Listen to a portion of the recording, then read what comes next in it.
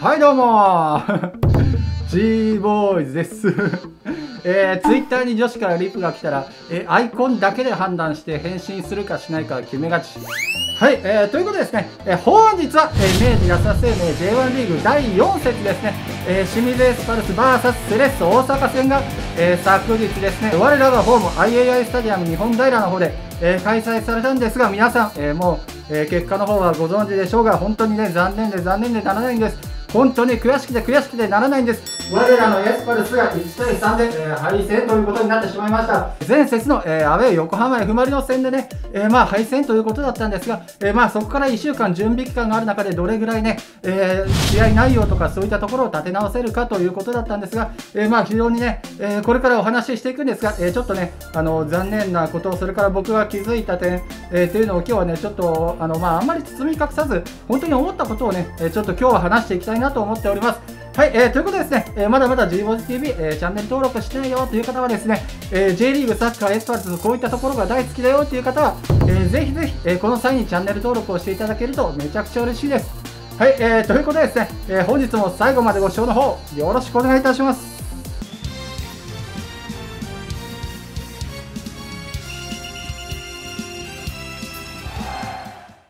はい、ということで始めていきましょうか。えー、まずはなんですが、えー、僕が今着ているユニフォームですね、えー、こちらエスパルスの、えセカンドユニフォームですね、えディープシーブルーカラーのユニフォームが前回の動画で、えやっと届いたよということをね、お知らせしたと思うんですが、え今回の撮影から初めてですね、え今年のユニフォームで、えまあ着て撮影ということでね、えまあ心機一転というか、ここからね、えもう連勝街道に乗ってガンガンいっちゃおうよという中で、出花をくじかれるようなね、えー、1対3という敗戦だったんですよ。それからもう一つなんですが、あの僕がね、新しい機材を導入したんですよ。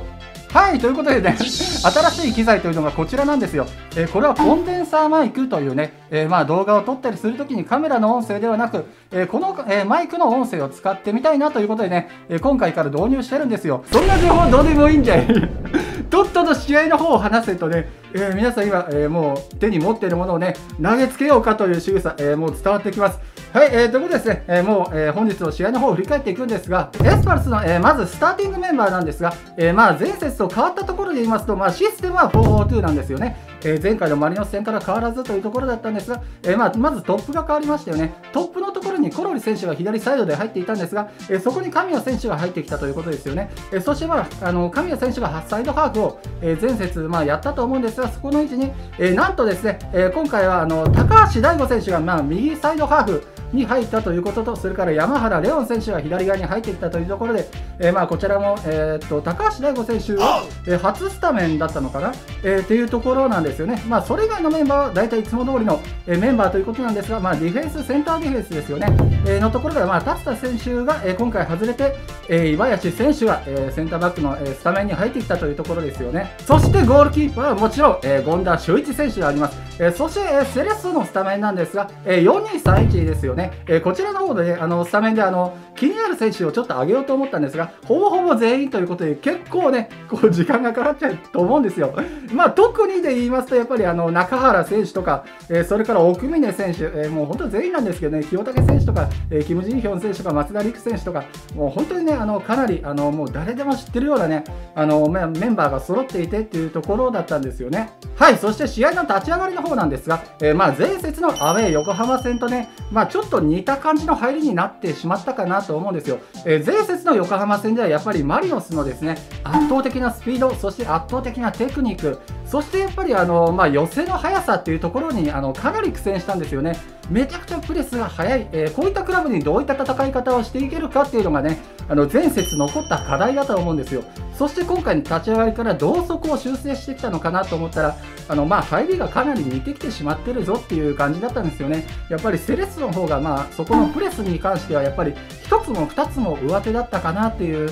まあちょっとこの1週間でまあそこまで修正できなかったかなっていう僕の個人的なね印象です。そこはすごく残念でしたね。やっぱり全体的にボールを握る時間が長いのがセレッソ。ここは結構良し悪しがあると思うんですよ。見てる人本当にね、あの、やっぱボールを持ってるのが長いサッカー好きだよとか、あの、僕は全然、あの、もう持ってなくてもいいからどんどんプレスに行ってね、奪ってから速いサッカーの方が好きだよっていう方、いろんな方もいると思うんですが、ここはあの、圧倒的にですね、エスパルスがあの、まあ、ボールを持てなかったとね、まあ、僕はちょっとそういう風に見えたかなと思ったんですよ。えー、ここって、まあ、どうしてはっきり言ってエスパルスがなかなかボールをまあ握る時間が少ないのかなっていうところのお話になってくるんですが、えこれはまエスパルスとか J リーグとか運の抜きにして、まあ、根本的にサッカーの考え方とかの、え話になってくるんですがやっぱりサッカーってあのトライアングルをどれだけ作っていけるかっていうことだと思ってるんですよ。あの僕が教わってきたサッカーではそういう風に教えられてきたんですね。やっぱりこの、え試合の中でどれだけ自分たちが、え敵に対してやっぱり三角形をどれだけ作っていけるかっていうこと、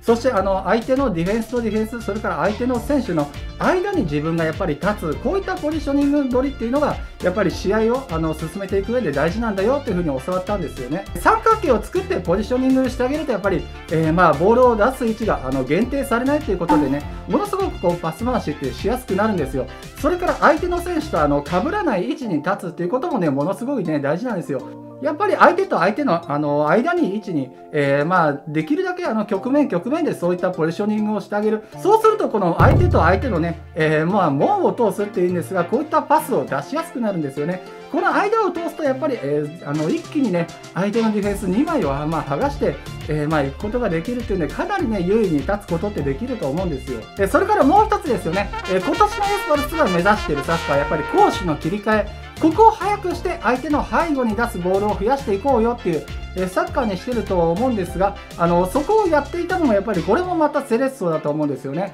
あのちょっと試合経過とあのずれたお話の仕方になっちゃうと思うんですがセレッソの3点目にしてもそうですよね、えー、まあ相手の背後を、まあつくえー、長いボールを入れての、えー、まゴールということだったんですが、まあ、そういった部分をあのこのプレー以外にもセレッソっていうのはまあ積極的にできていたのかなというところがあると思うんですよね。はい、ことでねあの本当に今回は僕が思ったところっていうのをちょっとズバズバ言っていっちゃおうかなと思ってるんですが、えー、そして続いてもう1個気になったのがですね、まあ、せっかくボールを奪ってもそこからまあつなげられないあのさっき言ったトライアングルとかまあそういった以前の話になるんですがやっぱりつまらないミスが本当に多いんですよね。えまあ、パスをしてもやっぱりずれてしまう。これせっかくボールを奪ってここからまあショートカウンターにつなげようよっていうところであのまあパスがずれてしまった。それから、えトラップが流れてしまった。これすごいもったいないんですよね。こういったところの精度一つ一つ上げていくともっとねあのサッカーってこうスムーズにスムーズに、え前へ前にっていうねサッカーができたと思うんですよね、えそして今度はですね、え攻撃のところなんですが攻撃のところであの僕があの思うこと一番大事かなと思うところが、まあ、大きく分けてっていうか、まあ、2つあるんですよね。1つ目が積極性ですよね。そして2つ目に意表をつくっていうことがねあの、まあ、大事なんじゃないかなと思うんですよね。この積極性っていうところなんですがあのエスパルスの、まあ、この試合全体的に積極性っていうところはものすごくねあの低かったと思うんですよ。特に前半25分までのプレー積極性なんて全くなかったと思うんですよ。まずボール持てば後ろに下げることを選択とかね、あの本当、あの 第1節とか2節のサッカー、どこ行ったって感じなんですが、本当、ボールを持てば安全策、安全策、積極性はないっていう、えー、サッカーにしてたと思うんですが、25分ぐらいのプレーでエスパルスが、えー、右サイドをですね、あのちょっと潰れながらあのキープしたの誰でしたっけ、ユイト選手だっけ？が、えー、まあ、潰れて神谷選手がまあボックス内に侵入したところかな。あそこすごく積極性があってね、あの、ユイト選手のあの頑張りっていうのもあったと思うんですよ。で、そこからちょっとね、あの、エスパルスのやってるサッカーっていうのが少し変わってきたかなと思ったんですよね。でそして次にですね、僕がもう一つ大事に、大事だと思っている、えー、意表をつくっていうことですよね。これ、いい意味で相手を裏切るっていうことなんですよね。やっぱり当たり前のプレーをしていたらゴールって絶対生まれないと思うんですよ。相手のまさかっていうことがないとね、なかなかこうゴールに迫るっていうことがあの難しいと思うんですよ。あのセレッソの方の、えー、ゴールなんか見ていても、まあ、1点目はあのオンゴールになったと思うんですが、やっぱりまさかじゃないですか、意表をついてきたじゃないですか。あんなに鋭いクロスがゴールキーパーとディフェンスの間に入ってくるって誰が予想できますかってことなんですよね。やっぱり当たり前じゃないプレーからゴールにつなげているんですよね。そして意表を作っていったらエスパルスの1点目同点弾ですよね。えー、のゴールもですが、えー、神谷選手が、えー、まあ中に、えまあ入れようと思ったところで少しパスがずれたんですよね。で、やっぱりセレッソの選手も味方の選手も、あ、少しボールが流れたな、だからなかなかいいボールが入ってくるってことは、そうないんだろうなって、まあこれが普通の考えですよね。しかし神谷選手はあそこから縦を狙ったんですよね。もう角度をつけるんだったら、えー、まあ右方向ですよね。右方向にまあ普通ね、えー、まあふんわり系で上げてくるかなっていうところを腰をひねりにひねって、えー、まあ縦に鋭いボールを入れたんですよね。あれって誰も思ったと思うんですよ。まさかとね。そのまさかでやっぱりこの反応していた高橋大吾選手が、またまさかですよね。まさかあんなにね、あの綺麗にあのミートさせるとは思わないじゃないですか。っていうところでゴールにね、あの繋がってるんですよ。やっぱりまさかが2つ起きてのゴールですよね。やっぱり相手の意表をつく当たり前じゃないプレーをあのまあ、常にっていうかね心がけていくっていうこともねあの大事なんじゃないかなっていうふうに思ったんですよ。はい、えー、まあということですね、えー、まあ試合の方がですね、えー、第4節、えー、ホームでのえー、また勝利はお預けということでね、1対3の敗戦となってしまったようなんですよ。で、僕、この試合を見たのがですね、え日曜日の朝から見てるんですよ。実はちょっと事情があってね、あの昨日生では見れてなくって、この動画を撮ってるのもその後すぐなんですよ。えー、そしてまあ、ツイッターとかも全然見てなかったんですが、まあ、いろいろね、えこの試合後、あのこの選手がちょっと、えー、出てこなかったとか、この選手がなんだとかね、いろいろあったようなんですが、まあ、全然ね、把握もできてないんですが、ちょっと なんかサポーター同士あのあま、ごちゃごちゃなんかあったのかなっていうぐらい感じた程度なんですが、あのこれはですね僕あの個人もそうですがあのこうやって動画を撮ってね、えー、サッカーのあのなんかこう分析とか解析とか解説みたいなね、えー、ことをやってるんですが本当に僕サッカーってここが素晴らしいんだなと思うとこってねあの一人一人サッカーに対しての考え方ってあっていいと思うんですよ。100人いれば100通りのサッカーの考え方。僕はこの試合セレッソ戦こういう風に見たよ。ここがいけなかったんじゃないか。トライアングルが全然できてなかったんじゃないか。ビルドアップもダメだったよね。でも中山選手すごかったよね。あのもう全部がねあの正解だと思うんですよ、えー、一人一人の思ったこと。だからあの僕ねこの人の意見をこう否定するんでなくもうあのなていうんですかあの、まあ、こういう考えの人もいるよねこういう考え方の人もいるよねって。だけど愛してるのはエスパルス一つだよね。J リーグ好きだよね。サッカー好きだよね。ここがあればいいんじゃないかなと思うんですよ。何言ってんだっていう話ですが、本当にね、日本人の人口のね、あの、まあ、本当3%ぐらいしかいないと思うんですよ、3%、4%。えー、この J リーグのサポーターという方たちがいないと思うし、えー、その中でさらにエスパルスサポーターって言ったら 0. 何パーセントの人間しか日本にいないんですよね。それだけ少ない我々、えー、がやっぱりこの人のことを否定したりとか違うんじゃないっていうふうに言ったりするのってもったいないんじゃないかなって思うんですよ。本当に人の意見、えー、もうこれはこれでいいじゃん面白いじゃんやっぱエスパルス好きだよねかっこいいよねっていうね、えー、まああのー、まとめるとねみんな仲良く 楽しくエスパルスっていうのか、えー、サッカーってやっぱり楽しくなかったら意味がないと思うんですよ。えー、エスパルスとかサッカーで楽しめないんだったらねあのやめちゃった方がいいと思うんですよ。あの辛くなるだけじゃないですか。楽しいから続けるんですよね。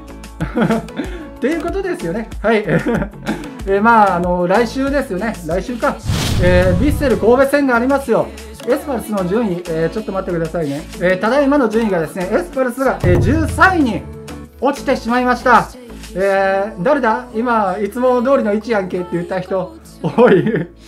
13位まで落ちてしまいましたよ。勝ち点4、いいと悪いのか悪いと見るのか、俺は悪いと見る。なんでかって言ったら甘やかしちゃったらダメだからエスパルスってこんなもんじゃないからで、えー、17位にですねヴィッセル神戸、えー、今年6試合やってまだ0勝ですよここで勝たなきゃいつ勝つんだいっていう風にねなってしまうと思うんですよ。あのヴィッセル神戸はあの本当に強いクラブだと思うんです。何かがうまくいってなくて今0勝ってなってるだけだと思うんですよ。そしてこの0勝のクラブがエスパルスに勝ってここから調子に乗ってったねなんて言われたかないじゃないですか。撃破するしかないでしょう。勝つしかないんですよ。いや勝つんじゃない。圧勝するんです。はい。ということですね。本当にねもうここからあの次負けたらもうどんどんずるずるずるずるいくだけですから本当にいつも通りのエスパルスになっちゃうだけですからここでもう一回ねあのなんかをこう締め直すって言うじゃないですか。帯みたいなの締め直してなんだっけ鉢巻きだ。鉢巻きよ締め直して頑張っていきましょう。はいということでですね本日は、えー、清水エスパルス VS えスレッス大阪製の動画を、えー、まあ、ほとんどね、僕のなんか言いたいことばっかり言っちゃってるような動画だったんですが、いかがでしたでしょうか？本当にね、エスパルス積極性がないとダメだぞということでね、ここからガンガン、えー、勝っていきましょう。はい、えー、ということでですね、えー、今回の動画少しでも面白かったよっていう方はですね、えー、ぜひぜひ、えー、チャンネル登録していただけると、え、めちゃくちゃ嬉しいです。はい、え、ということでですね、え、本日も最後までご視聴いただいてありがとうございました。え、また次の動画でお会いしましょう。バイバーイ